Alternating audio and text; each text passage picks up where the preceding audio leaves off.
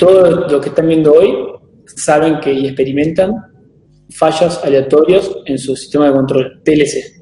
Si la fábrica es muy grande y, se va automatizando cada vez más, incluso fallan los drivers o se cuelgan los drivers. ¿Por qué pasa eso? Por lo que vemos acá. Esta es la expectativa, ¿sí? Esta es la onda de... Y acá la onda, ¿se acuerdan que le dije? Tengan en cuenta la onda eh, de análisis en un mismo tablero, ¿no? Un mismo tablero de máquina, un PLC y en el otro está hay un variador. Y en vez de entrarle esta onda, va a entrar esta. Y no te estoy hablando del resto de la planta, de que se suman cada motor, contactor. No, en el mismo, mismo tablero.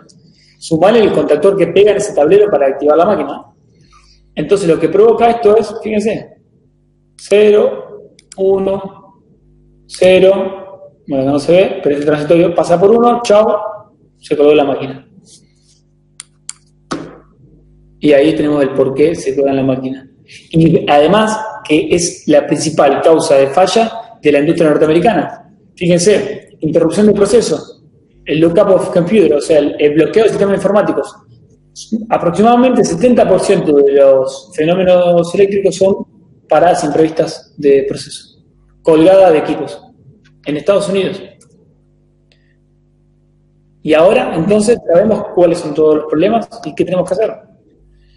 Cuarta generación de protecciones limpiar la onda sinusoidal. No sirve, no sirve tener un umbral fijo, no sirve poner algún filtro tipo que, tenga un umbral fijo para, para transitorio, para pico, para forma de onda, no sirve. ¿Por qué? Porque si este transitorio sigue siendo inofensivo y lo vamos a ver en mediciones, capaz que de 800 volts pasa esto. Y va a colgar igual el equipo. Sí, muchos ensayos.